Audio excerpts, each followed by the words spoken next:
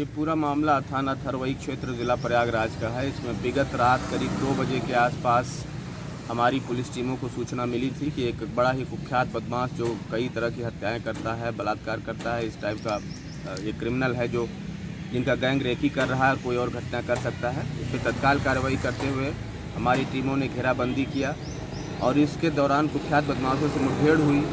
इसमें एक बदमाश के पैर में गोली लगी, उसके बाद वो गिर पड़ा, उसके बाद उसको गिरफ़्तार किया गया।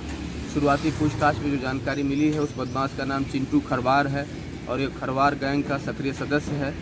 यह गैंग पहले रेकी करता है, बाद में एक सदस्य, एक परिवार के कई सदस्यों की हत्याएँ भी करता है, दुराचार भी करता है, लूटपाट भी करता है, बहुत ही कुख्यात गैंग है।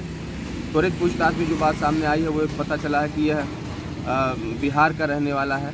औरंगाबाद ज़िले के ग्राम और थाना बारून का ये रहने वाला बदमाश है। हमने अभिलेखों को देखा तो जानकारी मिली कि पचास हज़ार का इनामिया बदमाश है, जो चार मई से ही वांछित चल रहा था और इस पर इनाम घोषित किया गया था। पचास हज़ार रुपये का इनाम था इस पर। इसके कब्जे से असलाह और कारतूस भी बरामद हुआ है। बताना चाहूँगा कि इसका एक सगा बड़ा भाई नबला खरवार, जो पहले ही चार मई को पुलिस मुठभेड़ के दौरान गिरफ़्तार करके जेल भेजा गया था।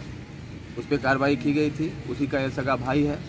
इसका एक साथी बदमाश बुंदेला और सारंगी खरवार अंधेरे का फ़ायदा उठाकर भाग निकला है, जिसकी तलाश में हमारी पुलिस टीमों द्वारा कॉम्बिंग की जा रही है। जल्द ही उसको भी गिरफ़्तार करेंगे। फ़िलहाल इस पचास हज़ार के इनामिया इंटर स्टेट कुख्यात गैंग के बदमाश को दाहिने पैर में गोली लगी है।